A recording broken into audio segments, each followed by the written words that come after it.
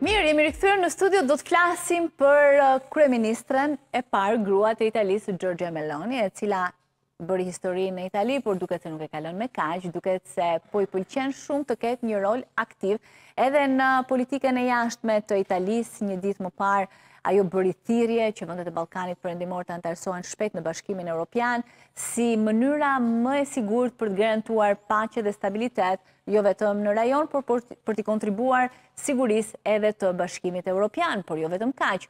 Pak kohë më parë, Italia u bë pjesë edhe e dialogut, e negociatorëve mes Kosovës dhe Serbisë. Çfarë po kërkon të arrijë Giorgia Meloni në politikën e jashtme, për këtë do të flasim në vijim, me mua në studio është gazetarja Alba Kepi. Alba, mirë se erdhe. Mirë se ju gjeta, faleminderit. bëri histori në Itali, po duket se ka ambicie shumë të mëdha Giorgia Meloni. Ndoshta kërkon të jetë një Angela Merkel në arenën ndërkombëtare? Pse jo? që kur ka marrë në duar këtë qeveri, Giorgia Meloni në diplomacinë e saj e ka bërë vendet e Ballkanit Perëndimor si një objektiv strategjik të diplomacisë italiane. Por nga ana tjetër, mendoj se ajo po përpiqet të shfrytëzojë pikërisht këtë qasje gjeografike dhe këtë rol që ka afërsia e Italisë me vendet e Ballkanit Perëndimor për të forcuar pozitën e saj brenda vendeve anëtare të Bashkimit Evropian. Pra është një zgjedhje inteligjente e Giorgia Melonit për vetë faktin se dhe vetë politika e djathtë italiane ka qenë gjithmonë, gjithmonë pranë asaj çka ka qenë kërkesat e vendeve të Ballkanit, Ballkanit Perëndimor për t'u integruar në Bashkimin Evropian. Mos harrojmë se dhe në kohën e qeverisë së Silvio Berlusconit, gjithmonë qasja e tyre ka qenë mjaft e mirë, mjaft strategjike, mjaft largpamëse që këto vende të mos kenë kaq vonesa burokraci nga ana e Bashkimit Evropian për t'u integruar. Ka nisur që me datën 24 janar, mhm. kur u krye konferenca e Triestes, ku u zhvillua takimi i parë, ku Italia kërkoi të mbledhë vendet e Ballkanit Perëndimor, ambasadorë të këtyre vendeve, diplomatë të hershëm, të mbledhë ministra të jashtëm, për të bërë takimin e parë dhe vazhdoi pra me ditën e djeshme që u mbajt në selinë e Ministrisë së Jashtme në Romë. Qe një takim mjaft, mjaft i rëndësishëm, pasi Italia përmes Ballkanit Perëndimor sinjali që dha është jo vetëm objektiv strategjik i diplomacisë sonë, por dhe objektiv strategjik i ndërkombëtarizimit të sipërmarrjeve italiane, sepse duhet të kuptojmë dhe një interes mhm. të Italisë për të sipërmarrjeve italiane për të investuar në në këtë territor, në këtë territor kaq të pasur, si nga ana e metaleve, si nga ana e gjithçkaje natyrore që ofron ky territor, por dhe të mos ta lënë më këtë territor në duart e sipërmarrjeve më të largëta siç janë sipërmarrjet ruse, turke, kineze e tjerë. Sa ka ndikuar Antonio Tajani, një ish-zyrtar i lartë i Bashkimit Europian, Parlamentit Europian, pra që e njeh mirë dhe politikën e jashtme? Mendoj se ai... Për ambicjen e Giorgia Melonit. Absolutisht, pyetje mjaft me vend, ai është besoj promotori i kësaj iniciative. Ka një eksperiencë europiane mjaft të rëndësishme, dhe jo më kot përmenda Silvio Berlusconin, ai është numri 2 i partisë Forza Italia, pra ka një objektiv, një direkcion të caktuar pikërisht për këtë rajon. Dhe është ai nismëtari dhe personi i cili po bën dhe qasjen dhe forcimin e Giorgia Melonit në atë pyetjen që thatë ju fillimisht, pra ata po përdoren dhe vendet e Ballkanit Perëndimor për të pasur dhe një rol protagonist të Italisë në politikën europiane. Mos harrojmë se në këto momente kemi dhe një situatë gjeopolitike jo shumë të, të mjaft të, të nxehur dhe Ballkani Perëndimor, siguria që jep do të japë ky rajon është një siguri edhe për gjithë territorin e Bashkimit Europian. Dhe ajo çka Italia po përpiqet të bëjë është se duke thënë, duke dhënë alarmin nëse ky territor, këto vende nuk kanë një siguri, një stabilitet që ne japim, dhe ne vetë jemi të kërcënuar si vende anëtare të Bashkimit Europian, pasi kemi një lloj dalje, një lloj pozicioni mjaft të favorshëm me këto vende dhe duhet t'i kemi në mbikëqyrje. Që nga koha e të ndjerit tashmë Franco Frattini, i cili luajti një rol shumë të rëndësishëm për Shqipërinë, për proceset e integrimit, liberalizimin e vizave, si ministër i Jashtëm i Italisë, ashtu edhe si zyrtar i lartë në Komisionin Europian, duket se Italia e humbi, po e la pak mënjanë, u mor më shumë me hallet e veta të brendshme, sesa me politikën e jashtme të rajonit, kam parasysh se Absolutisht e vërtetë, unë e kam pasur dhe në vështirësi të punës sime të përditshme. Sa herë që kishim konferenca apo intervista me ministra të jashtëm apo njerëz të diplomacisë italiane, kur hidhja pyetjen për të bërë se çfarë po bëhet për integrimin e Shqipërisë në Bashkimin Europian, gjithmonë më anashkalohej kjo pyetje pikërisht për faktin se Italia ishte në vorbullën e qeverive që rrëzoheshin, ndërroheshin çdo dy vite. Mos harrojmë se takimi i fundit ku unë dhe kam marrë pjesë, kam qenë personalisht, është zhvilluar me ministrin e Jashtëm Ditmir Bushati, kur ka qenë një, dhe atëherë një takim mirësie, pakti mes vendeve, mes Serbisë, Kosovës, Shqipërisë, pra ishte një takim trepalësh, i pari që zhvillohej, ku protagonist ishte Italia, ishte Roma. Dhe nga ai moment nuk u zhvillua më, dhe rikthehemi dhjetë vite më vonë, sot pra ku kemi një konferencë të rëndësishme. Pa dyshim është ajo siç thatë ju, problemet e brendshme, mosstabiliteti i qeverive italiane, mungesa e zgjedhjeve, dorëheqjet e kryeministrave, kemi parë dhe kohët e fundit sa qeveri kemi ndërruar, ka bërë që Italia të ketë një vëmendje si përfaqësore mbi atë çka po ndodh në Shqipëri, që unë e kërkoja, pasi thoja një vend që jemi as një orë larg, si ka mundësi që Italia, edhe pse shprehet se jam pro, nuk ka një vëmendje të veçantë për të shtyrë apo për të bërë nismë në Bashkimin Europian për të hequr atë burokracinë e lartë që ka kishte ky kjo lloj administrate në Bashkimin Europian, pra ndaj vendeve të Ballkanit. Dhe ajo çka u nënvizua dje, ishte pikërisht fakti, se këto vende janë të zhgënjyera, pra Shqipëria, Kosova, Mali i Zi, Maqedonia e Veriut, Serbia, janë të zhgënjyera nga burokracitë. Ata nuk kërkojnë skonto nga reforma që Bashkimi Europian kërkon nga këto vende. por kërkon që dhe qasja apo të jenë pjesë integruese e mekanizmave në sistemin institucional që këto vende të Bashkimit Europian kërkojnë nga këto vende, pra të ketë një gjithëpërfshirje që të ketë një konkretisi në rrugëtimin e tyre drejt këtyre vendeve.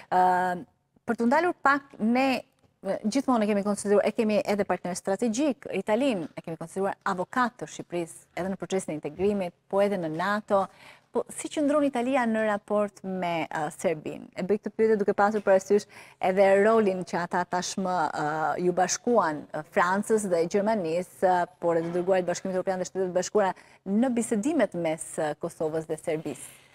Unë mendoj që raportet kanë qenë deri, deri dje mjaft institucionale, mjaft të mira. Por, rikthehem tek ajo që ju nënvizuat përpara, rolin e Tajanit. Tajani pak javë më parë ka zhvilluar një vizitë mjaft të rëndësishme në, në Beograd, është takuar me krerët e qeverisë serbe, ka zhvilluar një forum biznesi dhe pikërisht përsëri Tajani bëhet një protagonist dhe në një afërsi më të madhe të Italisë me Serbinë. Por gjithmonë mes Italisë, mes Serbisë dhe Shqipërisë, gjithmonë Italia ka qenë më afër, më afër Shqipërisë. Mos harrojmë se Italia është klienti i parë i, i ekonomisë shqiptare, është furnizuesi i parë.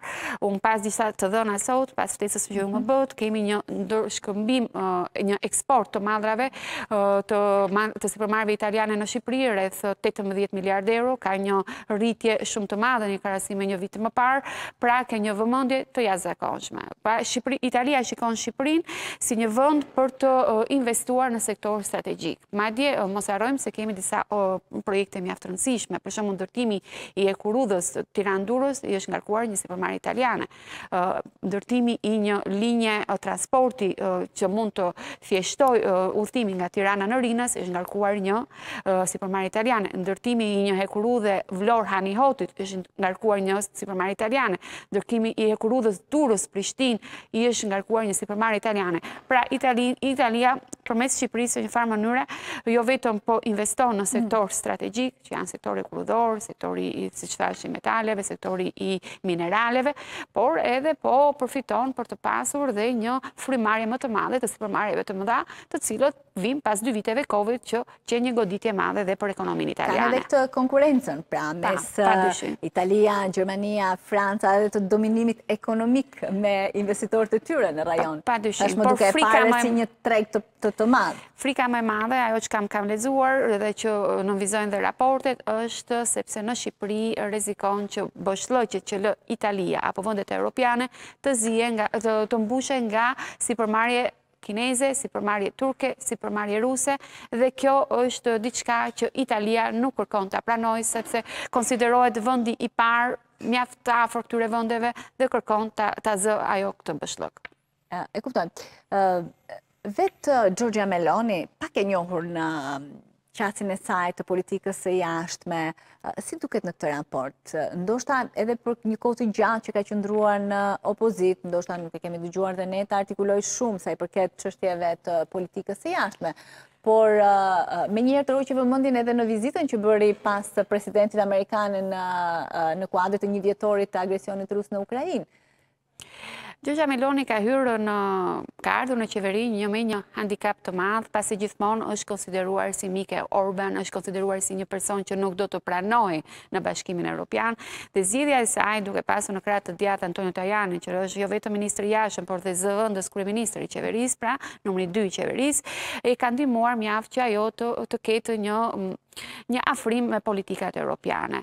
Mendoj se ajo e ka të vështirë ende rrugën, pasi shihet ende me mosbesim, jo vetëm për moseksperiencën e saj, jo vetëm për të qenit grua, duhet ta themi, duhet ta pranojmë, ka gjithmonë një lloj perceptimi. Po pse po pastaj se si po po shikohet tani një grua kryeministre? Ajo po punon mirë, mendoj se ajo ka po vazhdon një linjë koherente, pavarësisht që e djathtë apo e majtë, po ndjek një linjë koherente të programit të saj dhe po ndjek linjën dragjane, linjën e Dragit. Pra, unë shoh një lloj konsulte që ajo ndoshta e bën pas kuintave me Mario Dragin, pikërisht për politikat ekonomike, politikat europiane, për të mos pasur armiqësi, për për t'u forcuar pak nga pak në atë çka kërkon ajo të jetë Italia në Bashkimin Europian. Kjo paska qetësuar dhe Bashkimin Europian, se kjo ishte dhe një nga shqetësimet e tyre, me qasjen që do kishte Italia pas Mario Dragit. Absolutisht e vërtetë, madje thuhet, paktën zërat e korridoreve mediatike në Itali, në Romë, thuhet se Xhorxha Meloni, kur hartoi qeverinë e saj, pati një konsulencë të mirë me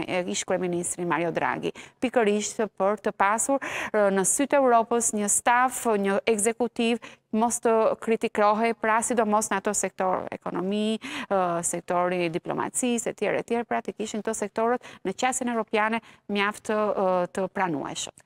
Grua e zgjuar se përgjithsisht politikanët kur arrijnë në një nivel e kanë pak të vështirë të dëgjojnë mendimet e të tjerëve, aq më tepër t'i zbatojnë. E vërtetë, e vërtetë, unë them se pika e forcës së Xhorxha Melonit ka qenë koherenca. Unë e kam ndjekur gjithë fushatën e saj, Dhe është nisur me 1%, 2% ka arritur në një nivel mjaft të lartë pëlqyerjeje, pikërisht për faktin se ka qenë një figurë jo e konsumuar. Mhm. Një figurë që shihje që vinte nga një lagje popullore e Romës, një një figurë e cila ka një karrierë politike të nisur që në moshë të re, që edhe pse me akuza të forta e konsideruar si një fashiste, pra që ka mbështetur një linjë mjaft të drastike, raciste të së djathtës, ajo mundi, mundi, mundi të arrijë në, në atë çka ishin hallet e popullit italian, sepse unë nuk mendoj se populli italian ka zgjedhur më shumë një të djathtë ekstreme apo një të djathtë, por kanë zgjedhur më shumë personin më të duhur në një moment të veçantë që po kalonte Italia, pikërisht për ato, për krizën që shkaktoi COVID, pikërisht për vështirësitë ekonomike, pikërisht për ato problemet e tyre të brendshme, që nisin edhe nga e ardhmja e të rinjve, që dhe Italia po e vuante këtë derdhje të trurit për vejt për te kufive të sajë. Gjë të cilën ne nuk e bëjmë. Ne ende nuk shohim hallet tona të përditshme kur zgjedhim. Kjo është e vërtetë dhe është fatkeqësi që kemi një, kemi kaq energji, kaq dinamizëm që eksportojmë dhe në vend që ta mbajmë këtu brenda. Të falenderoj shumë që ishe me ne. Faleminderit juve.